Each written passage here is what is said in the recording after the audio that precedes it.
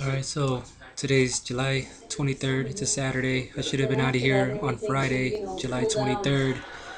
But um, since I haven't had a seizure yet, we're still trying to try try and start a seizure. So we're doing collodion.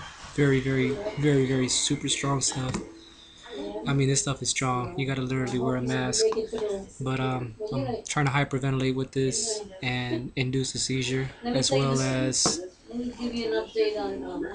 as doing Chianti. Um, very good red wine, but I'm supposed to drink like two glasses of this um, before I go to bed, and we just started this last night on the 22nd. Um, it kind of helped. Today I uh, today I uh, did have a uh, aura. I did uh, have a some massive, massive headache. Um, but um, I mean, we're just waiting, and right now, as it looks, I'll be here till next week, which will be July 28th. So I'm just trying to stay positive. Hey, check this out. If you look right here, right above my eyebrows, there's like two two black spots.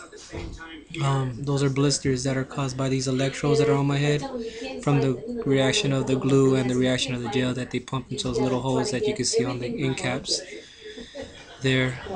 And if you look here, this little wire here is actually going in my outside of my cheek, in between my cheek and the inside and outside of my mouth, all the way up and through here into my brain on the side.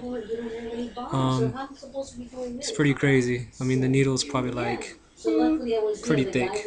That's how thick it is. I can feel it on the inside of my tongue. So, um, a lot of pain. I got stitches on the side of my cheeks. I'm sleep deprived, super tired. They got me staying up, smoke, inhaling all this collodion. Good stuff. Yeah. Stuff is strong. Anyways,